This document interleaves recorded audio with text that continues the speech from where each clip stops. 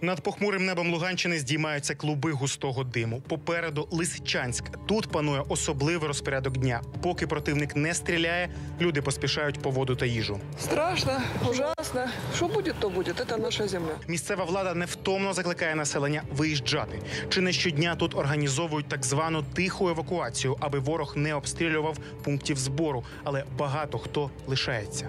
Полный город детей. Я вам Вернулось много. Вернулись люди. Да. а что, вернулись деньги люди. закончились? Деньги закончились, а что делать? Та багатьом лисичанцям уже немає де жити. Їхні квартири зруйновані. Нет у меня ничего, все. Я вот в чем была, в том и вышла. Живу в подвале, вот это все, что на мне, все, братцы, все. Все розбили, от була студенческая столовка. А то общежиття студенчеське, он горний технікум розбили повністю, не осталось нічого. Пані Клавдії за 80 пам'ятає ще Другу світову. Тепер на схилі літ спіткало ще одне лихо. Рашисти знищують її рідне місто. І от кахель отак одвалився, я вчора все це приліпила. Всі потолки глиняні трясуться. Ну вона крепка, кухонька це після війни построєна. Сгорел дом у мамы. У деда сгорел дом, ее бати.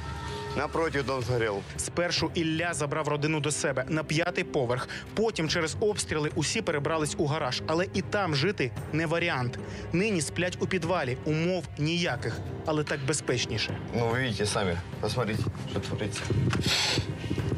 Ну, как, ну, ховаемся вот тут В этом сраще и спим.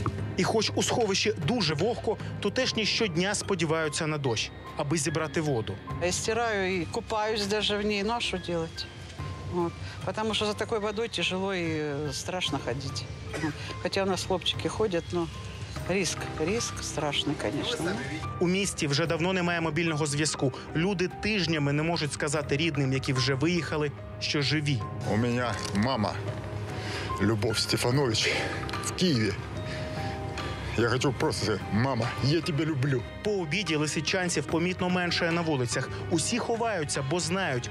Тривала тиша тут ще більш тривожна. Час у Лисичанську немов зупиняється. Це справжня апокаліптична картина. Усе навкруги потрощене, понівечене та розбомблене, і жодної душі навкруги.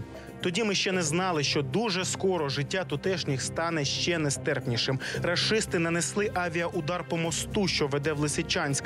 Тепер жодна вантажівка з гуманітаркою до міста не проїде. Із Лисичанська Олексій Продаєво та Олександр Давиденко та Роман Ведмеденко. Канал Україна, Україна 24 Марафон. Єдині новини.